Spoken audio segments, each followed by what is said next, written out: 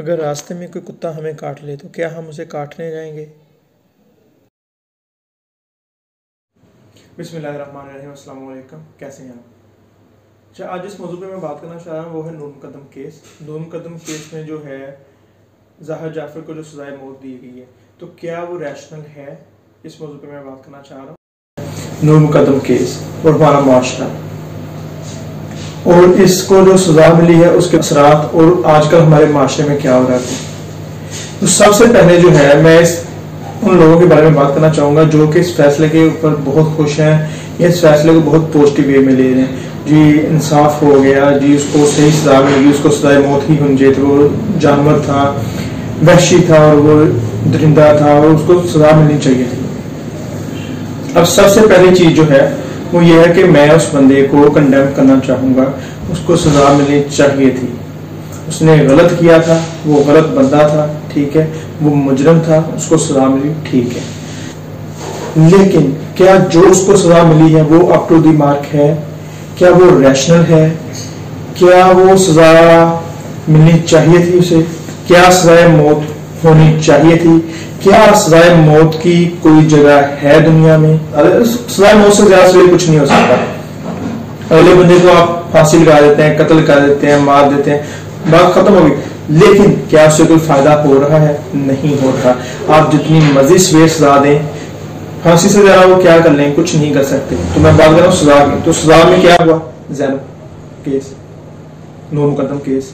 उसके अलावा जो है, वाक्य हुआ मोटरवे पे तो क्या इनमें जो सजाएँ हुई, उसकी वजह से ये तादाद कम हुई रेप्स की? नहीं हुई। अब क्यों नहीं हुई? अब देखें, कल की खबर है लाहौर बेदिया रोड पे, एक रक्षा सवा खतून को उतार के उसके साथ रेप कर दिया गया। हालाँकि ये दो तीन दिन पहले का वाक्य है, जो नूर मुकदम केस में ज़ाहिर जाफ़र को सजा, सजाए मौत हुई है, ठीक है? तो क्या उस सजा के इम्पैक्ट क्यों नहीं पड़ा? उसकी एक बहुत बड़ी रीज़न है वो है, हम इखलाकी तौर पे बहुत नीचे जा चुके हैं, बहुत पस्त हो चुके हैं।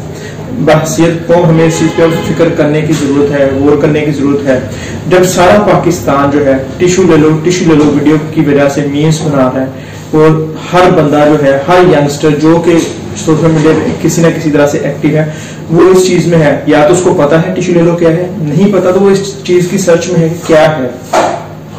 तो जब तक हम अपने माशरे को इखलाकी तौर पर बाप किरदार नहीं बनाएँगे, इस तरह के वाकत ख़त्म नहीं होंगे।